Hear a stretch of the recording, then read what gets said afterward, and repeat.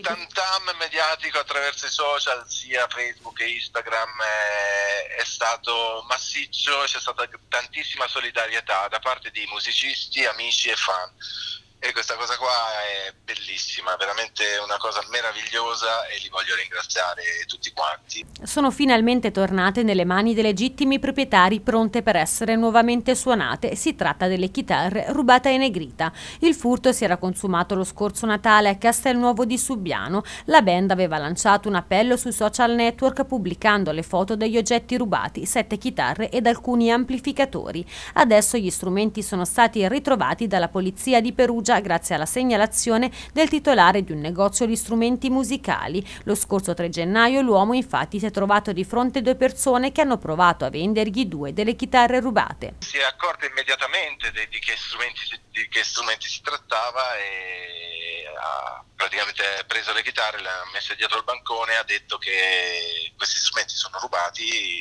anche i, i due ladri si sono dati alla fuga, ma ma fortunatamente è presa preso il numero di targa e sono stati bloccati sotto casa loro.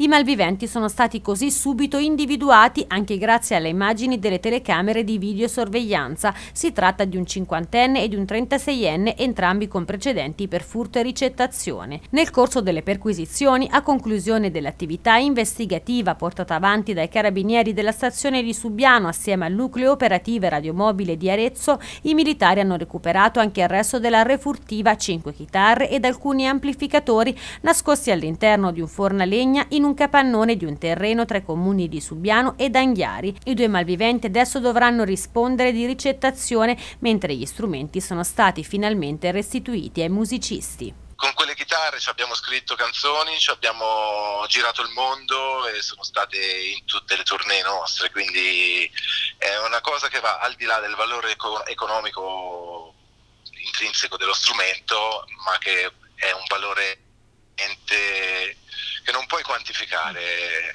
sono parte del musicista.